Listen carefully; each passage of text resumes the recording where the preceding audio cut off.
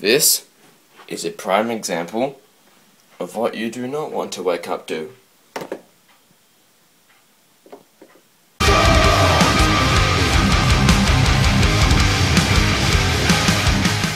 Sunday, so it's church time with Will. Woo! Karlis has arrived in the Yagmobile. Humeridge coffee. First impression of fabulous Oh Human wow, coffee. that's really good.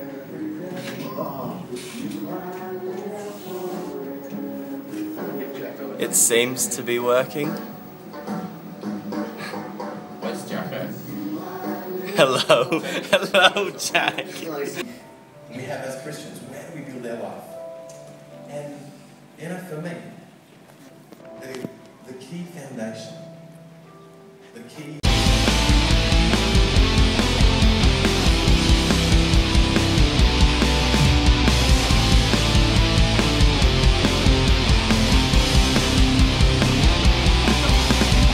Staring contest.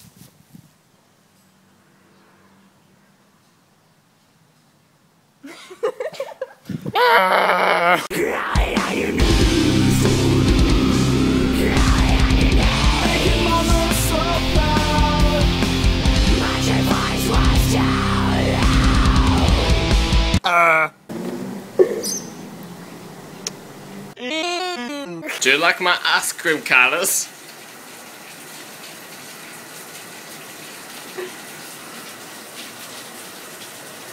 What? What? What? Oh my god. okay, so another church that isn't Humeridge got a bunch of new tech Holy gear. Crap, look at it. Wow, look at all that. It's a, it's a build. It's a fancy building. Not as big as Humeridge though. Um, and yep, they're throwing an event. Uh, let's check out the event. Launch party featuring Stan Walker. Stan Walker was the winner of the 2009 Australian Idol.